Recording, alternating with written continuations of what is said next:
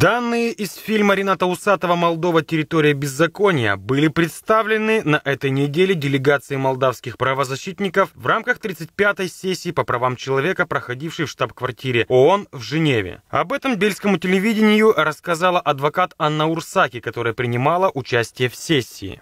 Стало очень большим сюрпризом обсуждение э, недавно вспыхнувшего скандала касательно преступного вовлечения генерального прокурора Эдуарда Хорожина Э, прокурора антикоррупции Виарела Мораль и других чиновников высокого уровня. Э, в куплю-продажу э, данных, документов, а также секретных файлов Интерпола. По словам адвоката, которая защищала в Молдове политзаключенных, пока на нее саму не сфабриковали дело, один день из четырехдневной сессии молдавская делегация посвятила встречам с представителями институтов, регламентирующих деятельность Интерпола. Анна Урсаки отметила, что европейские чиновники были в ужасе от представленных в фильме доказательств. Следует отметить, что в ООН практически один день из этой четырехдневной сессии, на которой мы участвовали, был приурочен э, встречам с э, теми э, институтами, которые могут влиять и которые регламентируют определенные определенное течение вещей в Интерполе, особенно после того, как сейчас в Интерполе проводится очень серьезная реформа официальные э, структуры, которые с нами встречались, просто э, были в ужасе от э, данных, которые мы представили, от коррупционных доказательств того, что, оказывается, секретные файлы могут быть куплены, а также проданы, о том, что заказные уголовные дела могут стать настоящим способом для обогащения преступников, которые находятся у власти. И самое страшное – это то, что сегодня уже в значит, официальные структуры э, Объединенных Наций поняли, что жертв, которые преследуются по политическим мотивам в Республике Молдова, этот режим намеревается достать, найти и пойти вплоть до любого вида уничтожения везде.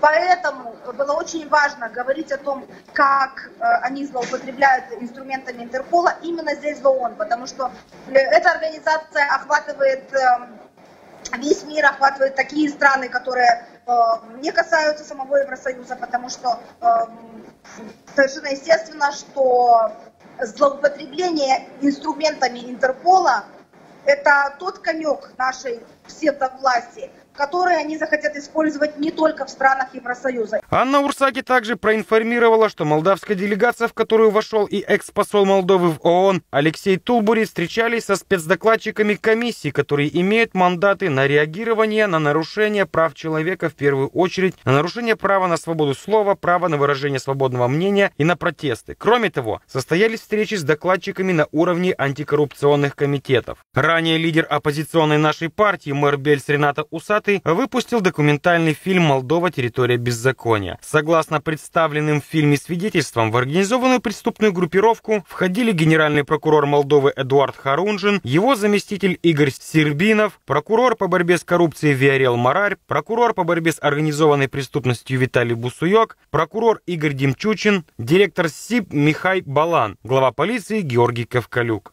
Весной 2016 года направляется запрос в комиссию Интерпола по контролю файлов в Лионе о наличии Германа Горбунцова в международной разыскной базе.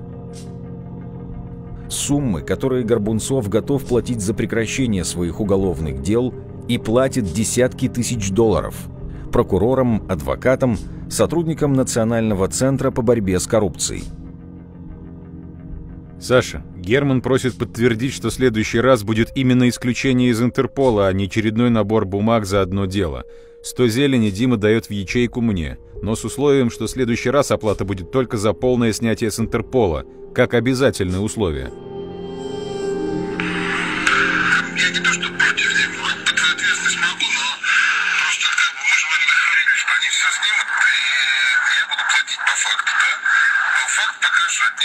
Я не то, что против, я ответственность могу, но просто как бы мы же договорились, что они все снимут, и я буду платить по факту, да? Но факт пока что от них куча бумажек, Интерпол на месте, да? То есть, наверное, там